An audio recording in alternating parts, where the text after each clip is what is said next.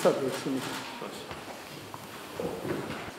Уважаемый Армен Артанович, мне приятно видеть вас в Беларуси, хотя я уже со вчерашнего дня вас за вами наблюдаю в средствах массовой информации. Очень широко освещается ваш визит в Беларуси. И я уже вам только что говорил, что в эти дни у нас проходят такие массовые мероприятия, связанные со столетием нашего комсомола. В свое время мне не один год, больше десяти лет пришлось работать в комсомоле. И, как вы правильно сказали, это наша история, от нее никуда не уйти, никуда не деться. Поэтому эти добрые дни, мы в эти дни отмечаем столетие нашего комсомола. Э, и хорошо, что вы приехали в Беларусь. Э, сегодня, завтра, особенно завтра, у нас основные мероприятия э, в рамках Мюнхенской группы по вопросам безопасности. Вопрос очень важный, очень серьезный. И ваш приезд э, в Минск э, и участие в заседаниях этой группы по данной тематике говорит о том, что Армению не просто волнует эта проблема, это животрепещущая проблема для армянского народа. Нашу позицию в этом плане знаете.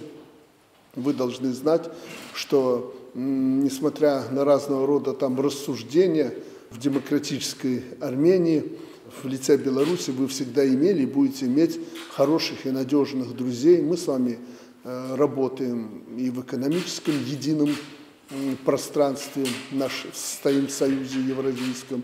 Мы с вами работаем в военно-политическом э, союзе ОДКБ.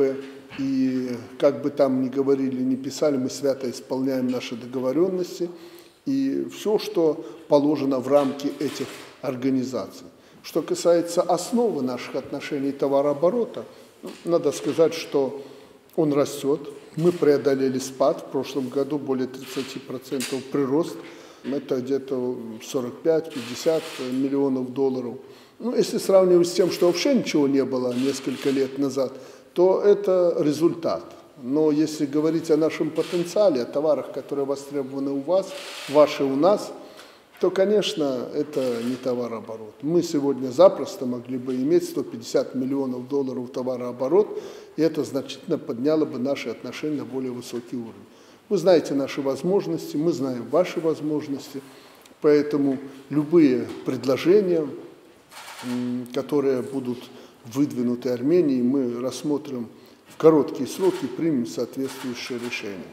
Знаю, что вы переживаете очередные демократические перемены, никуда от этого не деться, и, конечно, получить информацию, что называется, из первых уст, уст от своего друга и коллеги, для меня это очень важно. В свою очередь хочу вас поблагодарить за ту поддержку группы наших журналистов.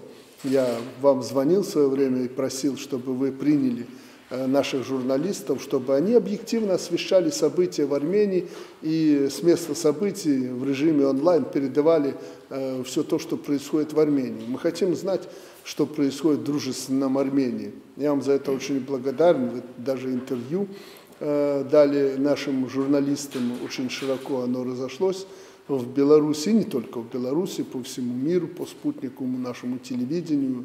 Притом несколько раз мы возвращались к нему мы поняли, что происходит э, в Армении, и это очень важно для нашего э, народа. Поэтому мы в вашем лице видим того человека, который объективен, реален и готов поддерживать с Беларусью отношения. Мы ответим взаимностью. Спасибо большое. Уважаемый Александр Георгиевич, э, дорогой друг, во-первых, я бы хотел тоже сам начать всех драматических дней в апреле и в мае. И использовать эту возможность здесь, в прекрасном городе Минске, поблагодарить вас лично за ту поддержку и дружбу, которую вы проявили в те дни. Я никогда, и как президент, и как человек, не забуду то внимание, которое я получил от вас. Ваши звонки не были просто дипломатические звонки, политические звонки. Это были звонки от друга которому не просто интересно, которому больно и радостно все вместе взято, этого человек, друг, который хочет знать и помочь. Я вот их чувствовал так.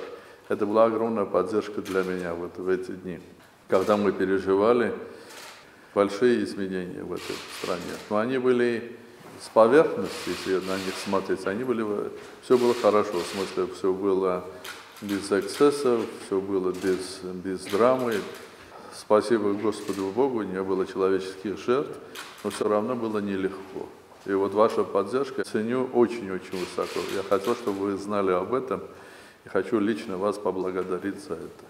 Потом, в принципе, да, я приехал сюда на Мюнхенскую конференцию по безопасности. Ну, во-первых, это очень приятно, что в Минске, в городе и в стране, которая является сейчас уникальным, одной из очень редких, потому что, мне кажется, образ Беларуси сегодня, Александр Григорьевич, это образ стабильности и предсказуемости. В этом новом мире, в котором мы живем, вот именно этих качеств очень редко можно увидеть. Мир не только регионы, но и мир стал непредсказуем. Мир стал нестабилен. И те государства, в которых вот эти два качества, они реалии этой жизни, мне кажется, это высоко ценится.